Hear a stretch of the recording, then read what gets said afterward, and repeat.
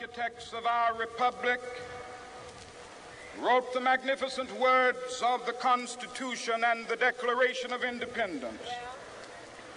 They were signing a promissory note to which every American was to fall heir.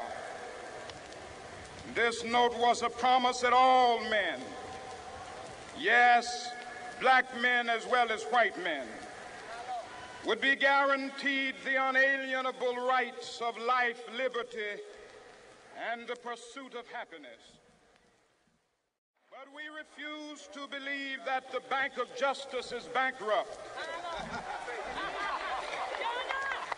We refuse to believe that there are insufficient funds in the great vaults of opportunity of this nation. And so we've come to cash this check, a check that will give us upon demand the riches of freedom and the security of justice. We have also come to this hallowed spot to remind America of the fierce urgency of now. This is no time to engage in the luxury of cooling off or to take the tranquilizing drug of gradualism. Is the time to make real the promises of democracy.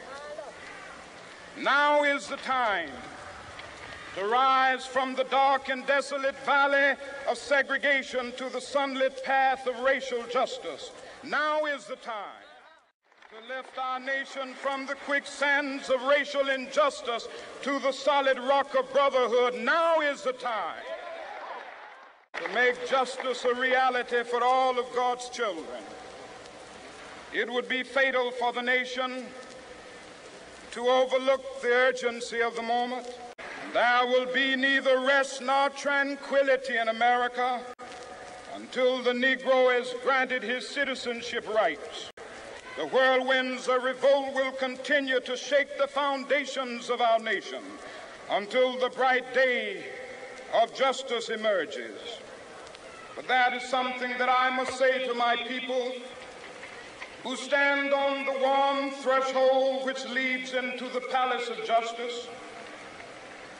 In the process of gaining our rightful place, we must not be guilty of wrongful deeds. Let us not seek to satisfy our thirst for freedom by drinking from the cup of bitterness and hatred. We must fail to conduct our struggle on the high plane of dignity and discipline. We must not allow our creative protest to degenerate into physical violence. Again and again, we must rise to the majestic heights of meeting physical force with soul force. We must rise to the majestic heights of meeting physical force with soul force. Inextricably bound to our freedom. We cannot walk alone.